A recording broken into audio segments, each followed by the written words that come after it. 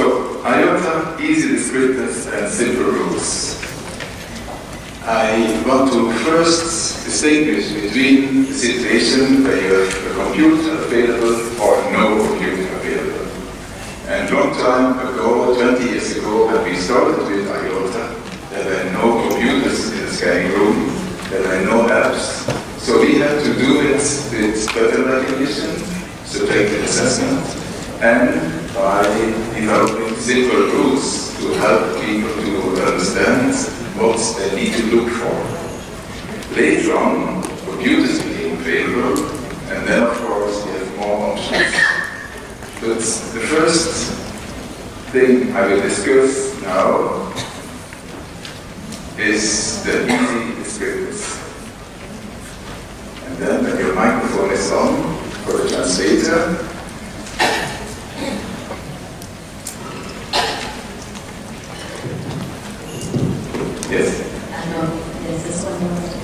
thì ờ, lần đầu tiên là thầy cũng ờ, cảm ơn ờ, thầy rất là vui khi đã đến đây. Thì em chị biết rằng là hôm thứ hai là thầy coi như là ngày thứ năm thứ sáu là cái hội nghị yêu tăng thế giới ở ở bỉ nước của thầy đó. Thì coi như thứ sáu kết thúc thầy nói 6 giờ thì là ngày hôm sau thứ bảy là 6 giờ sáng là thầy phải đi máy bay còn gần một ngày để qua tới Hà Nội. Và sau đó cái Utah đó, đầu tiên là đã diễn ra Hà Nội cũng rất là thành công và sau đó thầy đã có một cái cơ hội để du học từ Hà Long cho nên thầy rất là rất là yêu nước đến từ Việt Nam của mình thầy nói là nó quá đẹp đi thầy rất là hài lòng khi thầy đến đây thầy thấy là các chị tham dự đó là nhiệt tình của riêng mình tổ chức khá là tốt. Thì à, cái bài đầu tiên uh, muốn uh, nhấn mạnh đến các chị một xíu là uh, nó rất là quan trọng. Có nghĩa là cái bài thầy nói đầu tiên này thì về cái cái cái, cái khởi điểm ban đầu của cái việc à, dùng cái yoga để mà nhận diện cái khối u buồng trứng thì nó có cái gì thấy rằng nếu chị có cái máy tính một bên hoặc là khi các chị không có cái máy tính một bên tức là không có cái phần mềm không có cái gì để mà tính toán nguy cơ thì cái đầu tiên mới cái mặt của cái gì không phải là cái symbol, mà chính là cái cái cách nhận diện đơn giản gọi là cái descriptor nhận diện đơn giản có nghĩa là cái gì? Nhìn thấy nó điển hình nó đặc thù của cái gì đó, là gì? Nhận diện đó là cái khối lượng trứng vì khối lượng trứng thật sự nó rất đa dạng, nhưng mà nó có một những cái nó có cái tính chất rất là điển hình. Chị nhìn vô một cái chị biết nó là cái gì? Thì cái đó gọi là easy descriptor sáu thì chúng ta phải sẽ giải đây. First we will uh, discuss simple rules. And simple rules are features for benign tumors and features for malignant tumors. We always have to compare this with experts, experienced persons doing ultrasounds, and that's what we call subjective assessment or pattern recognition. But now that computers are available, and it's also integrated in ultrasound machines like the Samsung machines, that you can see the IOTA at next model while you're scanning, and therefore you will need to have the age of the patient, oncology center, C105 is not needed, but it will help to better distinguish between the malignant tumors.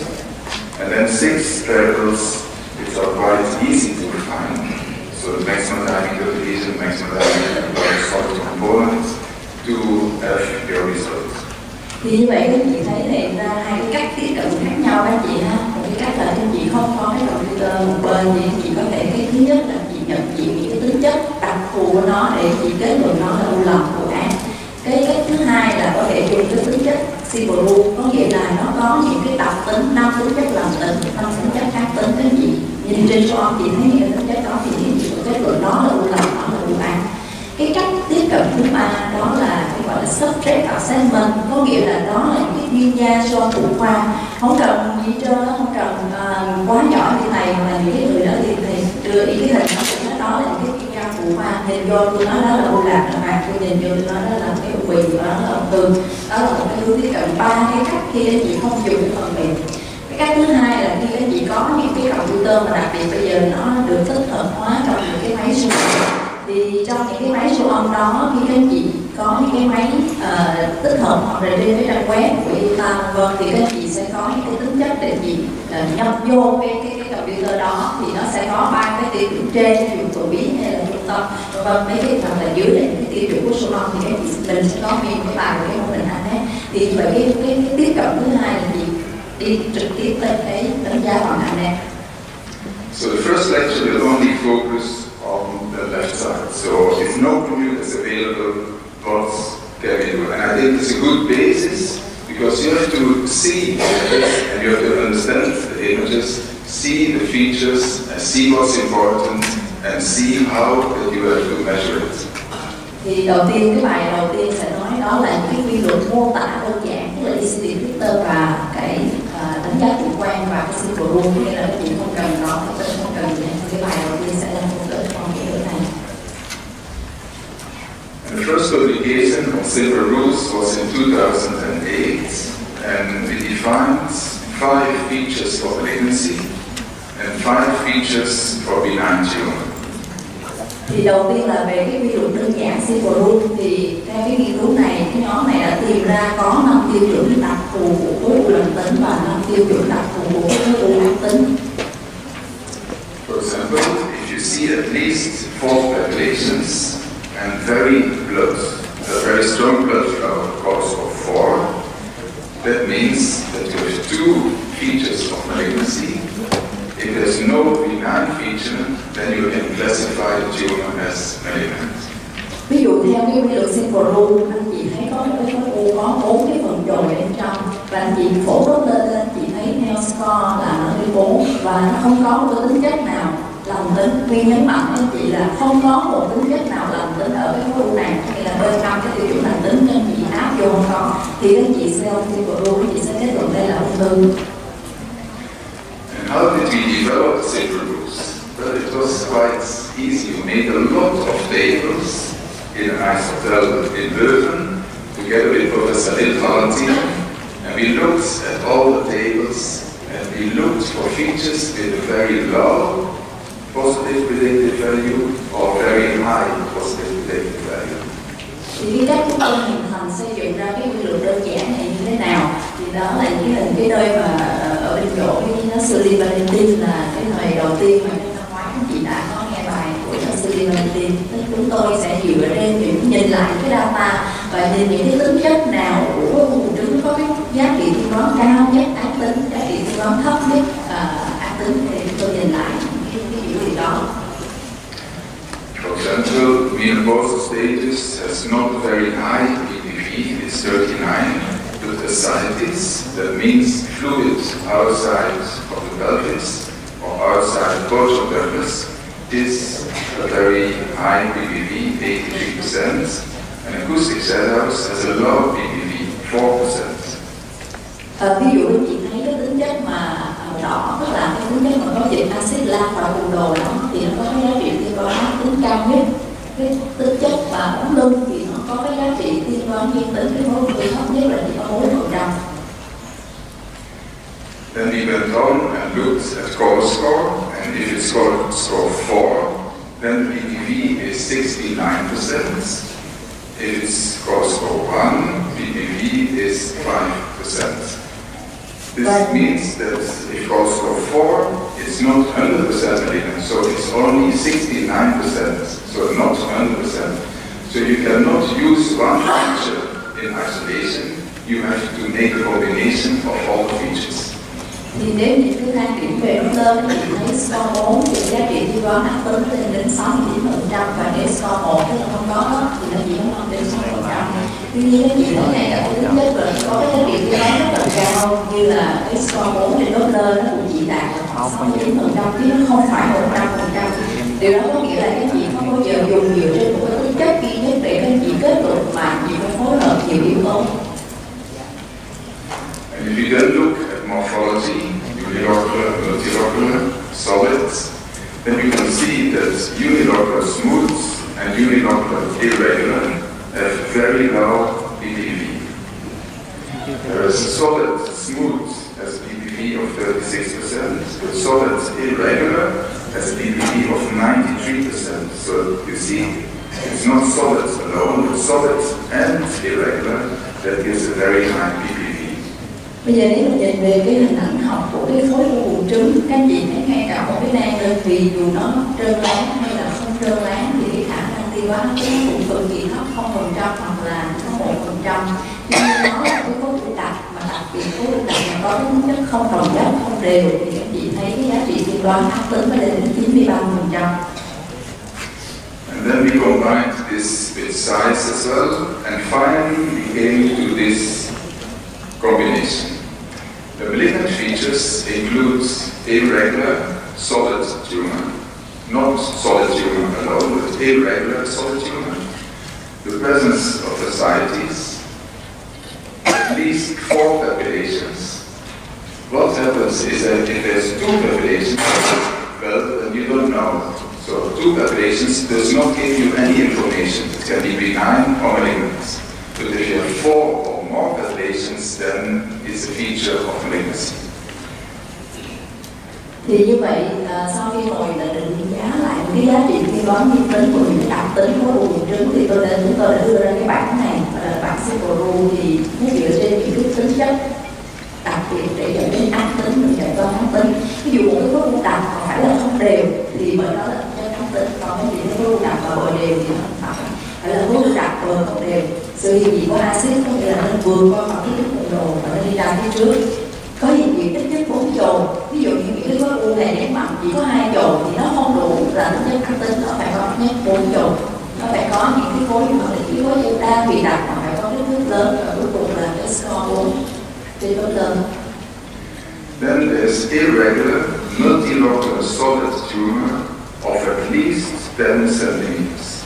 So if it's only 9 centimeters, then it's not a malignant feature. But if it's uh, 11 centimeters, then it's a malignant feature. And finally, cross of 4. và hai cái thứ chất cuối nhấn mạnh đó là ví dụ cái khối u đa thì kích thước phải lớn hơn một trăm phải có score bốn trên tốt lớn Then the benign features, you have unilocular cysts or tumor with larger solid components in any direction of less than 7 millimeters. So beware, if you speak about papillations, then the height is important because if it's 3 millimeters or more, then it's papillation. And is always solid tissue. But here, this benign feature is, if you see, for example, a population of 3 millimeters in height and the width is 6 millimeters, then there is still a benign feature. Ờ, về cái tiêu làm lành tính tức là đặc thù của cái khối làm tính thì gì thấy một cái nang đơn vị. Cái thứ hai là một cái khối nang mà nó có cái phần đặc dưới 7 mm. Có nghĩa là bất cứ cái kích thước của cái chị thấy cái phần đặc bất cứ đo cái chiều nào hay đi đến sân thì nếu mà cái điều đó mà nó dưới 7 mm nó có phần đặc đi nữa mà nó dưới 7 mm thì được gọi là một cái lành tính và cái gì nhắc lại là đối với định nghĩa rồi thì các đo cái chiều cao đối với đồi cũng định nghĩa đó là chồi cũng chỉ đo chiều cao và chiều cao bạn nhất là 3 mm thì như vậy ví dụ có cái chồi chị đo chiều cao 3 mm nhưng mà khi chị đo cái bề ngang và cái bề đáy của nó nó rộng 6 mm thì như vậy nó cũng là một cái tính chất lành tính Acoustic shadows are beautifully explained by Dr. Min, And here you see the smooth multilocular tumor, less than 10 centimeters, and goes all one. So these are all five benign pages. và ba cái tính chất là tính cái gì nhớ nữa đó là nhấn mạnh trong cái bài của Huy đó là tính chất à, bóng lưng của cái quỳ nó rất là quan trọng. Thì cố gắng nhận diện vì khi chị thấy cái bóng lưng đó thì chị kết luận là là u lòng hay sin của hoặc là những cái khối nang đa quỳ trơn lá chị không thấy có cái gì ờ, không có đa quỳ cái chị ha đa quỳ không có một đặc hay các gì hai cái tiêu chuẩn hai tiêu chuẩn khác nhau. Ở trên này chị thấy là ventilocular số thì còn biết là ventilocular thôi có nghĩa là nó không có phần đặc bên trong mà cái thước nó dưới 100 mm thì nó là tính chất lành tính cho nên ví dụ như các chị thấy trên thực tế chị như dẫn quá số ông đánh giá cái khối u đa vì không có phần đặc mà cái thước dưới 100 thì như vậy, theo Subaru nó là là lành tính anh chị đừng có kêu phải tính gì của ta, cái này cái kia. Đó, cho nên chị dựa trên Subaru thì những cái đa vì không có phần đặc là chị biết được nó là vùng và cuối cùng cholesterol một nghĩa là chị thấy có cái phần đặc mà chị phổ lên không có bất ngờ, không có một cái dòng chảy bên trong thì nó Roots were applicable to 70% of cases because if you have a benign feature and no malignant feature, it's benign. If you have a malignant feature and no benign feature, it's malignant. But if you have no features, or if you have one benign feature and one malignant feature, you cannot classify. So then it's not applicable, and that's in 23% of cases. And they're applicable in 77% of cases. À, xin nhắc lại một lần nữa là cái anh chị áp dụng ví dụ tập tính và siêu rule à, ví dụ đơn giản xin lỗi thì các anh chị có những cái tính chất làm tính chất tính chất làm tính và không có một tiêu chuẩn nào ác tính thì các chị kết luận là hoặc các anh chị thấy có tiêu chuẩn ác tính trong cái năm cái tiêu chuẩn ác tính chị thấy có một hay hai và không có một tiêu chuẩn nào làm tính thì các anh chị kết luận đó là vụ án tuy nhiên thực tế là các chị thấy cái khối u nó không mình áp vô năm tiêu chuẩn nào cũng có năm tiêu chuẩn ác nó cũng có hoặc là nó vừa có tiêu chuẩn đặc tính nó vừa có cái tiêu chuẩn của ác tính thì như vậy các chị gọi là intervention có nghĩa là không ác tính cho nên đây là cái nghiên cứu cho thấy là đối với simple rule các chị áp chỉ khoảng được 77 phần trăm và nó sẽ có một cái độ nhạy độ đặc hiệu trong cái việc uh, xác định được chẩn đoán khối u buồng trứng là này And the sensitivity for cancer was high, 92%, and specificity is as high as 96%. So this means you have good detection of cancer, and there's not many false positives. And this is exactly the same as pattern recognition by experts. thì như vậy cái nghiên cứu này cũng cho thấy rằng dùng cái quy luật simple rule á, thì việc chỉ áp được 77 phần trăm nhưng mà nó cũng nhận diện được cái độ nhạy rất cao lên đến 92 phần trăm và cái độ đặc hiệu rất cao 96 phần trăm có nghĩa là gì cái nó ghi nhận rất là ít và nếu mà so sánh với proper recognition tức là nhận diện bởi những thứ chuyên gia nhận diện chủ quan á cảm cần nhiều simple rule gì đó á chỉ nhận diện những người đó quá rõ là liền cho họ phán tầm ác cho cái gì thấy là bị tương đương The difficult ones are the borderline tumors, because you can see borderlines, 50% was not classifiable, whereas in the other groups it was around 30% thì cái nghiên cứu này cho thấy rằng là iota 2 này những cái khối u nào mà thường không có nhận không có không loại được không có đánh giá được CPU thì nó rơi vô đến 50 phần trăm là những cái khối u giáp pin có nghĩa là những cái khối u giáp pin thường nó rơi vô là cái là trên CPU nó chỉ không ăn được. Mà cuối cùng nó là còn là lai. And if you look at the number of correctly classified patients in the benign group, this was 96%. In the borderlines, it was lower, 80%. In primary invasive cancers, 94%, and in metastatic cancers, 95%. thì quý vị thấy là của cái nghiên cứu này cho thấy rằng nếu quý vị áp với cái sinh rule á, thì cái sự không loại chính xác đối với những cái khối u lành tính lên đến 96 phần trăm khối đáp tiên thì lên 80 phần trăm những cái ung thư cao hoặc là những ung thư tiên phát nó cũng lên từ 94 đến 95 phần trăm So what happens to the difficult group? So the easy group is the ones where the rules are applicable, 77%. The difficult ones is here, the rules are not applicable. But here you see the malignancy rate is 40%. So this is very high. So you could say, well, all this group is at high risk, so we refer them to oncologists. Thì như vậy cái kết quả của nghiên ờ, yêu ta pha hai này cũng cho các chị gì có nghĩa là có khoảng 77 ờ, phần trăm là cái chị dùng simple chị áp được đúng không? Cái chị áp simple rule vô chị đánh giá là tính áp tính được. Thì còn 23 phần trăm còn lại á, là các chị không áp được simple vô các chị không kết luận được. Thì nó cho này nó có tới 40 phần trăm là những cái khối u ác tính. Cho nên thật sự khi các chị không áp được cái simple thì đây là những cái khối u phức tạp cái nguy cơ ác tính cao. Các chị nên đây còn ta đến những cái chuyên gia chọn phụ khoa giỏi hơn We had 357 cases with CO5 measurements, and here the malignancy rate was 42%. thì những cái ca này các chị đã làm cái kết hợp với CA 125 nó có 357 trường hợp thì cái tỷ lệ tính lên đến 42 phần trăm And if we look for different tests, the experts subjective impression had the best sensitivity, 89%, and the highest specificity, 78%.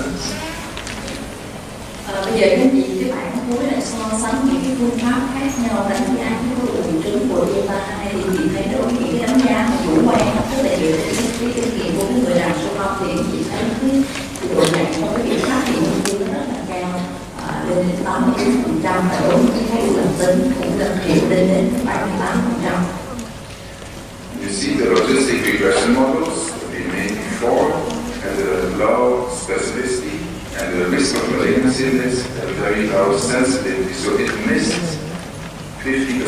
of cancers. thì các chị so sánh với những cái mô hình L, L nước rin 1 và rin 2 tức là cái mô hình của Utah trước đây thì thấy cái đối với cái ác tính thì cái độ nặng cao nhưng mà đối với độ đặc hiệu thu là cái thì không có cao 44 48 phần trăm. Và đặc biệt đối với cái mà malignant index là cái cái mà mình hay làm trước đây thì anh chị thấy đối với ung thư cái độ nặng rất là thấp chỉ bằng 50 phần trăm. If you look at the features, then we see the very strong features of benign is unilocular. It was present in 25% of cases, and the risk of malignancy is only 1%. And these were borderlines with very big cysts. À, bây giờ chúng qua cái điều ta ta thì chị nhìn lại những cái đặc tính của à, những cái tính chất nào ở trên cái CPU thì các chị thấy đối với tính chất nan đơn vị thì các chị sẽ thấy là à, nó chiếm khoảng 25 phần trăm đối với những cái u lành và đối với cái u ác tính thì nó chỉ cái nan đơn vị chỉ gặp một phần trăm thôi và nó rơi vô một cái trường hợp có một cái cái, cái cấu kích thước rất là lớn. And stronger predictors for malignancy than irregular solids, present in 8% of cases, and 92% risk of malignancy, ascites, 95% risk of malignancy. Ờ, về cái tính chất đến là nhận cái ác tính đó là cái khối đặc không đều hoặc là cái axit thì chị thấy rằng nó hiện diện đến 92 và 95 phần trăm những cái trường hợp ác tính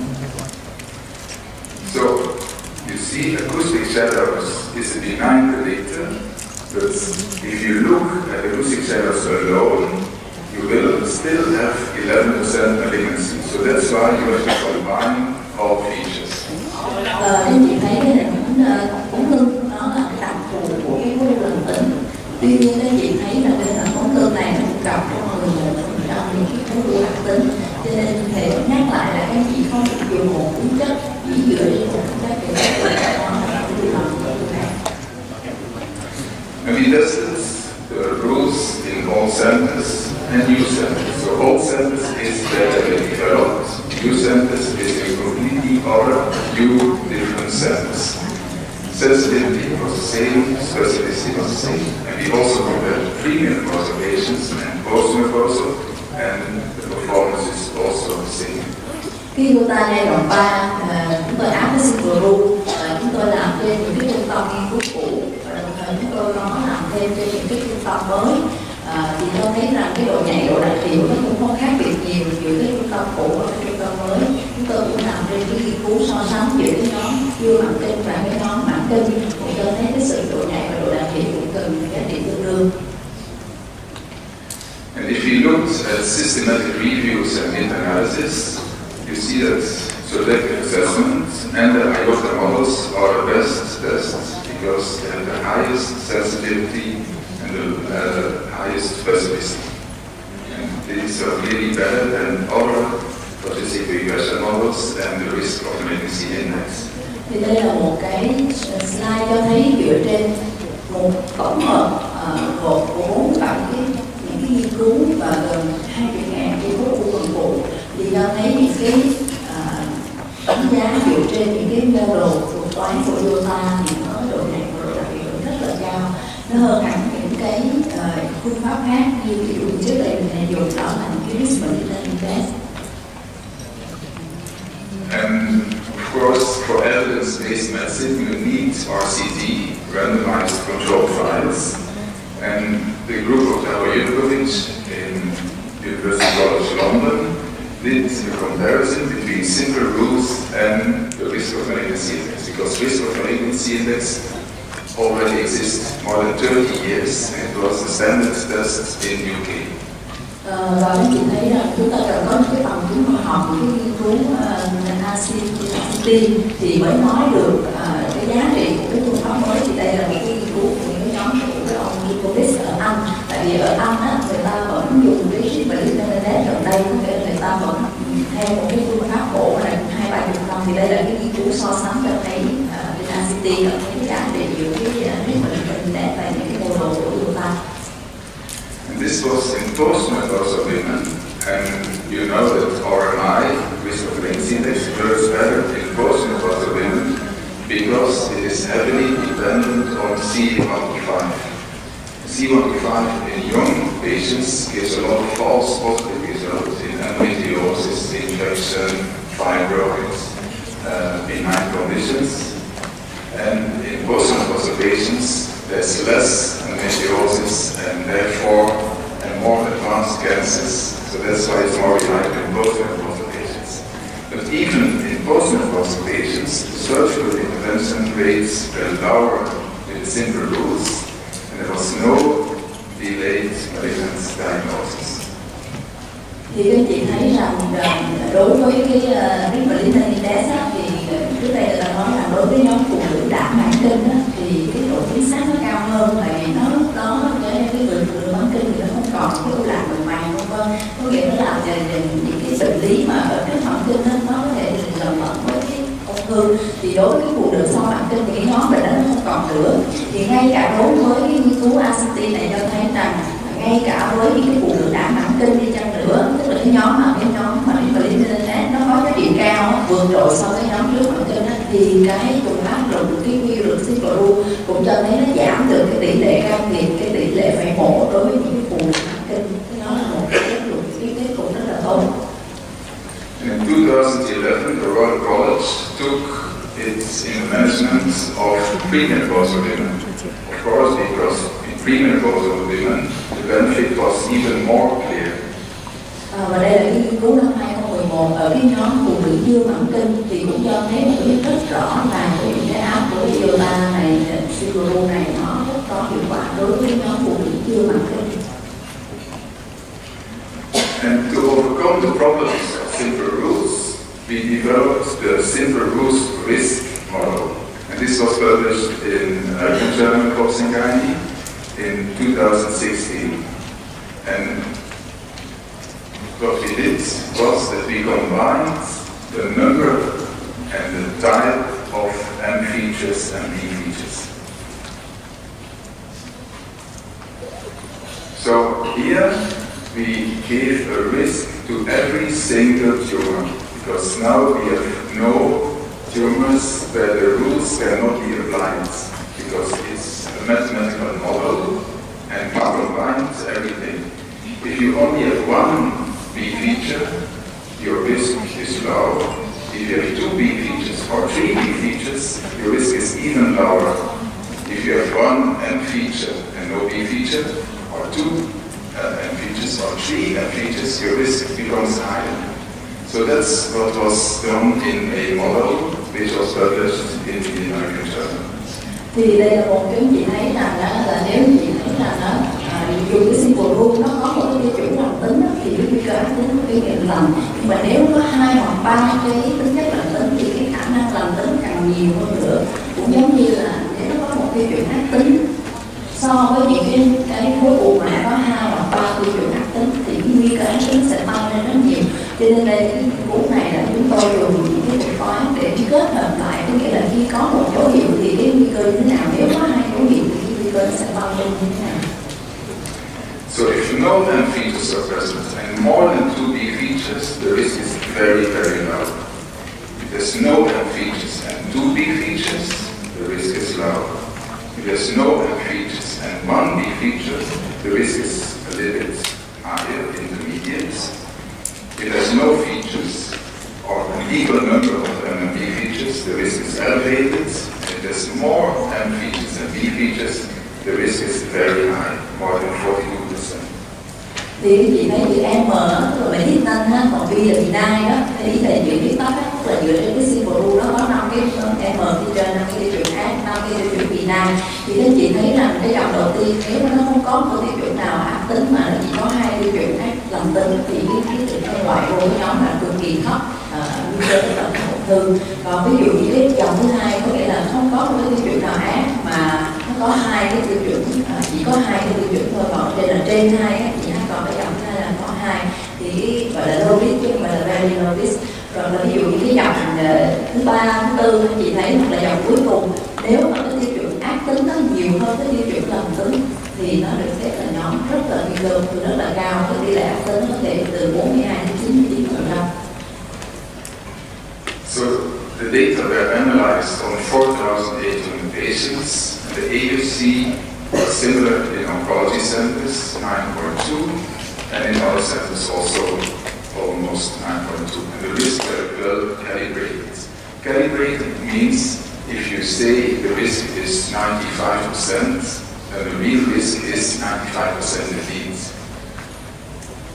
Ờ, thì thầy giải thích rằng cái nghiên cứu này cho thấy rằng trên khoảng gần 5.000 bệnh nhân á, thì cho thấy rằng cái giá trị giữa những cái trung tâm ờ, là ung thư phụ khoa tức là những cái nơi đầu tiên chuyên khoa về ung thư hoặc là những cái trung khác thì cho thấy gần như cái, cái kết quả nó cái giá trị cái lượng AUC bên trong nó gần tương tự như nhau. Và cuối cùng thì giải thích cái chuyện mà cái nguy cơ ta thức tới nguy cơ và là calibrated ấy ý có nghĩa là mẹ nói nó ra là nguy cơ mình nói cái risk là những lòng nào thì nằm thì thực tế cũng như vậy có nghĩa nó rất là tốt chính xác. But then came Tom Horn and he why do you make it so difficult with the simple rules? We have to study everything, but if I see an angioma, I say, that's an angioma, and I don't need to have any measurement, I don't have any simple rule. Thì đây là mình cũng nhấn mạnh để các chị thấy có cái sự khác biệt là thầy cũng giải thích tại sao nó ra đời cái gọi là đánh giá chủ quan subject attention hoặc là cái mình đã nói nhiều tất cả những cái tính chất uh, simple rule năm tiêu chuẩn lành năm tiêu chuẩn ác thì cái ông Hoffner này là một trong ba cái người sáng lập ông ấy tại sao là phải ví dụ như cái cái khối u thì mình nhìn vô mình biết nó là u lạc này mình nhìn vô mình biết nó là u bì rồi. Tại sao mình phải áp quy luật simple rule vô mà như vậy? Cho nên là từ đó nó đưa ra những cái cái một cái cái, cái, cái đánh giá mới.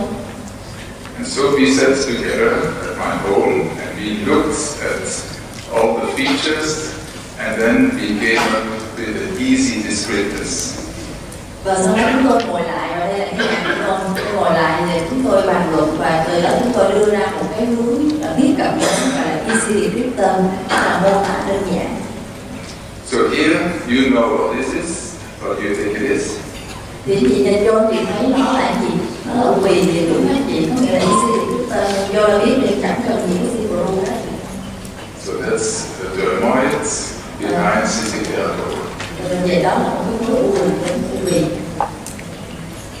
And you know what this is? Um, what's this?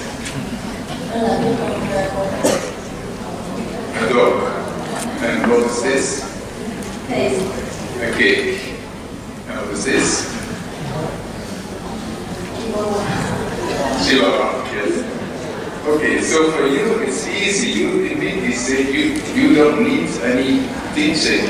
Uh, you say the triangle should be like this, and, and you have to measure the distance between the two eyes, and then you know this is a dog. So for the computer, it's difficult to say this is a dog, this is a cake. But you, you immediately thought that's a cake, that's a dog. So humans are very good at it. Thì như vậy các chị thấy có cái, cái mình thầy đưa cái ví dụ này để cho thấy là mình nhìn vô á mình biết đâu là cái con chó đâu là cái con khác. Thì chẳng hạn thấy để to hai cái con mắt nó xa như thế nào để mình nói là con chó. Mình vô biết là con chó nghĩa là mình có những cái nhận diện trực quan rất là tốt. Nhưng mà cái tính thì nó có thể sai ờ, nó nhìn vô nó phải đo cái khoảng cách ví dụ nhận diện con chó thì nó nhìn vô nó đo cái con mắt bao nhiêu mình để lộ bao nhiêu bấm thì And again, what is this? Yes, but it's also a place. It's laughing. What's this? And a security camera, which looks a bit dangerous. And who are these?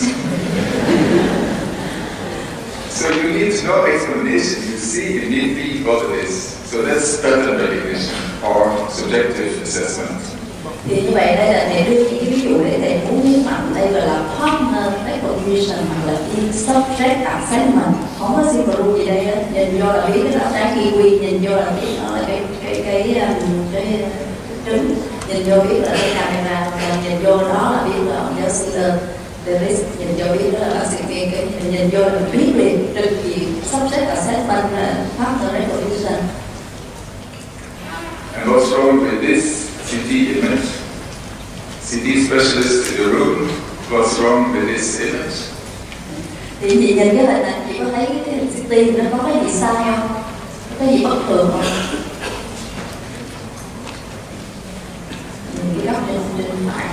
You spotted something. Yes, what's wrong with the image? You can speak up, we will translate. Uh, say a monkey A monkey, yes, there's a monkey in the line. So that's not what you expect with CT scan. But if you don't expect it, you don't see it, unless you're very good. ở đây thầy muốn ví dụ cho cái điều gì có nghĩa là các chị đâu có nghĩ là trên cái CT phổi các chị thấy cái con khỉ có nghĩa là chị sẽ không thấy cái, những cái điều mà chị mong đợi những chị không mong đợi thì chị sẽ không thấy chị không bao giờ chị nghĩ thấy cái con khỉ ở trên trên CT nên chị không thấy là bình thường tuy nhiên có một số người họ nhìn ra được à, tức là họ có cái đặc biệt họ nhìn ra thấy có con khỉ So now, you think this is benign or malignant? các chị nhìn cái đó chị nghĩ là âm tính hay ác tính Benign. Benign or malignant? Malignant, so very good. So here, it's quite simple and very easy. Here, is this benign or malignant? Maybe, yes. So here we need the simple rules. And here, is this benign or malignant? That's very difficult. So here we need an expert, maybe MRI, or say all these are malignant. So this is what proposal is. The three steps is first step, very simple, endometrioma, teratoma. If this is difficult, you go for simple rules, and if you don't know it, then you refer the patient to an expert, or you send them to the oncologist. đây là những cái hướng tiếp cận một cái đầu tiên là chị dùng cái cột đầu tiên bên phải, gọi là simple hay là easy descriptor tức là nhận diện trực quan nhận diện là mô tả giản đơn. Thì do cho chị thấy một làm bề mặt thì do biết nó là ưu bì thì nó là cái nang lành tính rồi cái nhóm thứ hai là ở giữa, nó nhìn thì chị thấy nó cũng có vẻ nó bằng không ác chị không áp được, nó không có điểm hình tính chất lầm hay là ác, không điểm hình làm bề mặt thì điểm hình của bì thì chị sẽ dùng áp cái rule thì anh chị có thể áp được gần đến 80 phần trăm. Và cuối cùng là những cái khối mình vô chị không áp được thì như vậy chị sẽ chuyển lên những cái người chuyên khoa về siêu âm phụ khoa tốt hơn hoặc là chị dùng em ra So endometrioma, and advanced cancers are easy to detect immediately. So that's the easy descriptors. thì nhớ đây là bốn cái thể mà được có thể dùng easy descriptor thì nhận diện ngay nó là gì nang đơn giản màng nang và cuối cùng là ung thư di căn có nghĩa nhìn vô chị nói nó là ung thư luôn nó tan nó là ung thư di căn với một cái trực quan And so let's look at them in detail. First, there's four benign easy descriptors. The first is unilocular, ground glass cytogenicity, and pre-menopausal. That's very important because if you see this after menopause, you always have to be careful. It can be cancer or it can be something different. thì như vậy đối với nhận diện trực diện của quan nó sẽ có bốn thứ nhất là tính thì cái tính chất đầu tiên là cái gì thứ nhất đó là một cái khối đơn thùy, bản thân của chúng mờ và ở một người phụ nữ chưa mãn kinh các anh chị nhớ như vậy như vậy thì chị thấy một cái khối eco gán dạng điểm mờ là nó điển hình nhưng mà phải ở một cái người chưa mãn kinh thì chị mới kết luận đó là tính chất lành tính đầu tiên đi một theo cái nhận diện trực quan còn nếu mà đã mãn kinh rồi thì nó là một sự kết luận nó sẽ có thể là ung thư So this is endometrioma. như vậy đó là một cái khối u lạc bề mặt The second group is dermoid cyst, and dermoid is unilocular, mixed heterogeneity. So you can see the stripes, you can see acoustic shadows, and again in premenopausal patients, these are white ball, the shadows, white ball, shadows, and the stripes. So this is mixed heterogeneity, but unilocular, because the white ball is not a solid tissue. cái tính chất thứ hai trong cái bài mô tả đơn giản đồng tính đó là cái khối hỗn hợp có cái tính chất ổn thương nhưng mà chị nhắc đi nhắc lại là không phải là người phụ nữ chưa mãn kinh thì các chị có kết luận đây là cái tính chất lành tính theo trực diện mô tả của chủ quan Easy The third group is unilocular, anechoic, regular walls, and maximum diameter less than 10 centimeters. And this is a benign simple cyst or benign cystosome. thì như cái tính chất cái khối điểm này thứ ba là nó là một cái khối trống đơn evo trống đơn phì nó rất thành trơn nang và đường kính dưới 10 cm thì như vậy nó có thể gây vô là một cái nang đơn giản hoặc một cái xích ta thì nó mang lành tính And the last benign group is with regular walls less than 10 centimeters. So if it's smaller than 10 centimeters, you have to be careful. It can be something different. và cái nhóm thứ tư đó là những cái nang đơn vị còn lại những cái tính chất mà với đường kính là dưới 10 cm thì nó chỉ áp vô cái tính chất lành tính theo cái hình trực quan And then the malignant easy descriptors. First is ascites, at least model called of river, so cause of three or cause of four, in a post in a. So all the features should be there. So if this is present in female cause, it can be denied. But if it's aside is cause of three or four, post in a causal, then it's malignant. À, cái biểu hiện mà đi là nhận diện được quan và cái tiêu ác tính đầu tiên, đó là chị thấy sự hiện diện axit và tiêu lúc cơ màu, các chị thấy ít nhất là SCO3 ở một cái người phụ nữ đã mãn kinh các chị nhớ, thầy nhấn mạnh là hồi nãy là tính chất là tính là những người chưa mãn kinh bây giờ tính chất là ở một cái khối u mà chị thấy có axit và có cái cô lớn lên so ba.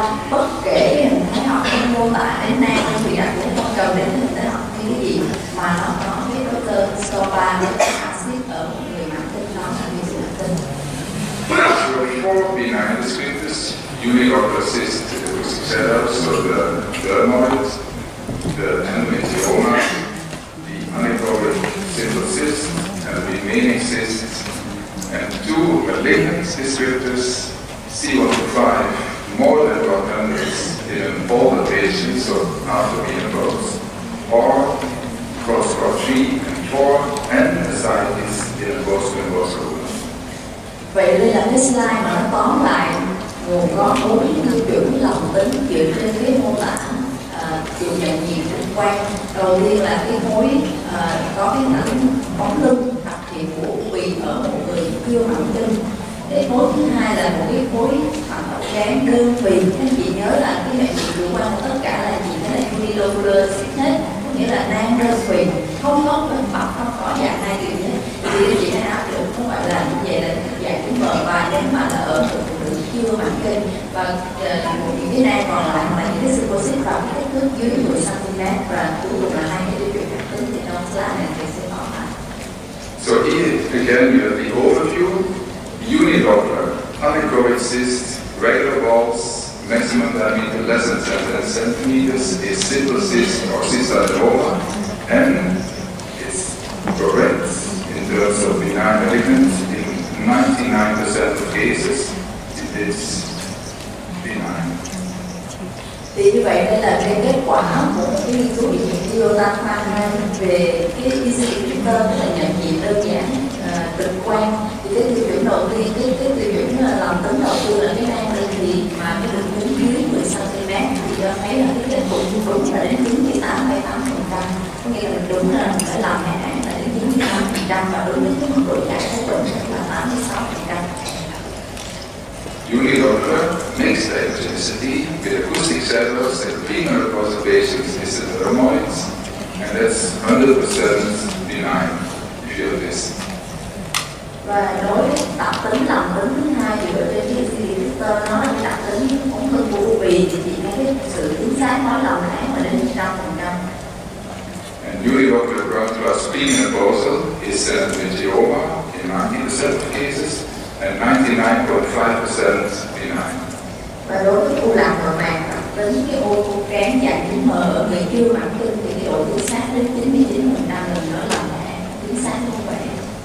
And remaining unilocular cysts with regular balls are benign in almost 99% of cases. Và những cái khối u đơn thì còn lại thì mình thấy If you see at least moderate follicular 3 or 4, in a postmenopausal patient, 95% is malignant.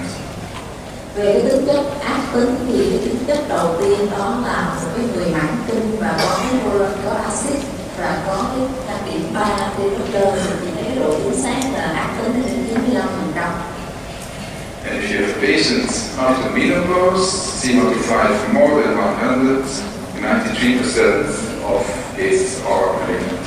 và của cái tính chất ác tính là người kinh trên 50 tuổi và có nồng độ CA lớn hơn 100 thì độ chính xác lên 93 phần trăm So subjective assessment is a very good test. But a definition of subjective assessment. Our one, or two risk of malignancy index C125 is much, much. So ultrasound is much better than tumor markers. thì như vậy so sánh đây cái bảng này so sánh dựa trên cái nghiên cứu thì đâu thấy là cái độ đánh giá dựa trên siêu âm tức là nhận diện trực quan đó tức là xác nhận nhận diện trực quan thì cái độ chính xác thì thấy lên đến cái cái cái, cái, cái độ chính xác là không chấm chín bốn nếu so sánh với những cái mô đồ khác mà có biết và lên không biết lên đế hoặc liệu ICA thì thấp hơn So the three-step model on what I've just uh, shown is step one, you have 2,000 patients and you say easy descriptors. So four benign descriptors, two malignant that can classify 900 cases. Đây là một cái hướng tiếp cận ba bước mô hình tiếp cận ba bước thì đầu tiên cho là cái nghiên cứu khoảng gần 2.000 bệnh nhân cái bước đầu tiên nếu chúng ta dùng cái nhận diện quan thì chúng ta có thể áp được à, đó bốn tiêu chuẩn làm bốn hai tiêu chuẩn khác thì chỉ có thể áp được khoảng 900 bệnh nhân. Then we keep the more difficult ones, and if we use simple rules here, then we can classify 660 more cases. và những cái ca còn lại chúng ta sẽ đi tiếp cái bước hai là áp cái simple rule thì chúng ta có thể phân loại nhận diện được khoảng 661 ca. And then finally, simple rules are inconclusive, you can send the patient to an expert, and you only need to send 370 patients out of 2,000 to the experts to get the best diagnosis.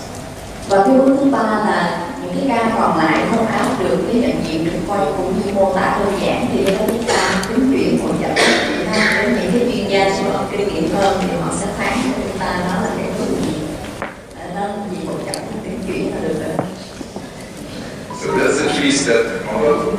This three-step model has sensitivity for cancer of 92% and specificity of 92%. And that's exactly the same as if these experienced examiners would have looked at all the patients. So even less experienced can come to the same level of experience by using this.